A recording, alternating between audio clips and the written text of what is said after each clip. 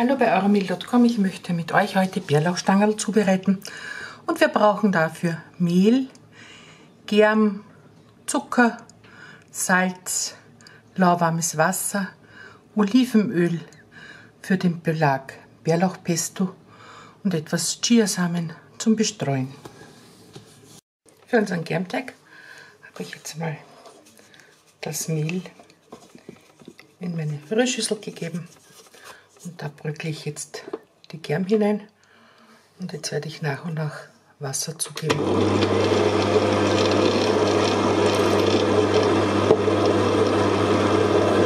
Dann kommt noch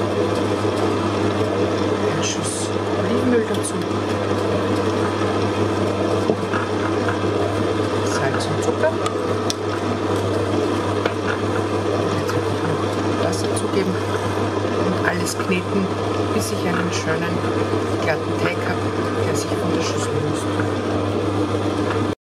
Ich werde jetzt meinen Teig mit einem Tuch abdecken und an einem warmen Ort aufgehen lassen. Er soll mindestens das doppelte Volumen haben, ehe ich ihn weiterverarbeiten kann. Der Teig für unsere Stangerl ist ganz wunderbar aufgegangen und wir werden sie jetzt weiter verarbeiten. Dazu bestreue ich meine Arbeitsfläche mit Mehl.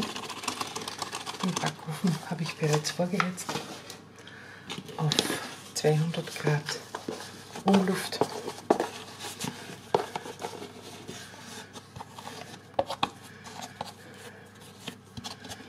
Dann kommt ein Kernteig auf die Arbeitsfläche.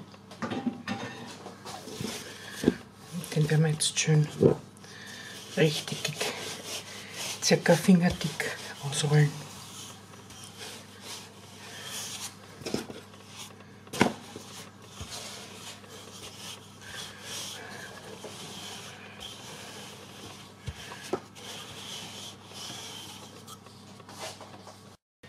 Ich bestreiche jetzt die Hälfte meines ausgerollten Teiges mit Bärlauchpesto.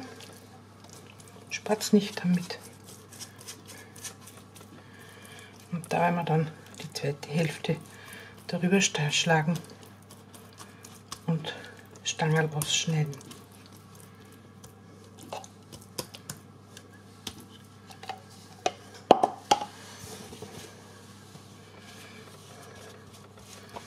Ich drücke das schön fest.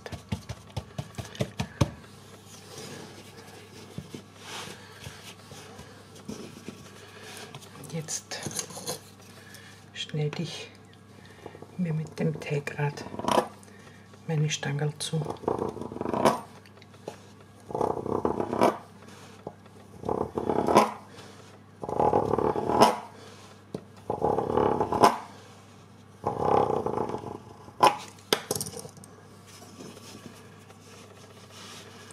Und daraus drehe ich jetzt Stangerl und lege sie aufs Backblech, um sie noch einmal aufgehen zu lassen.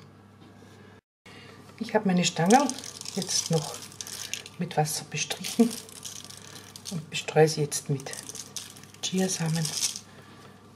Schaut optisch gut aus und gibt noch ein bisschen mehr Biss für die fertigen Stangerl.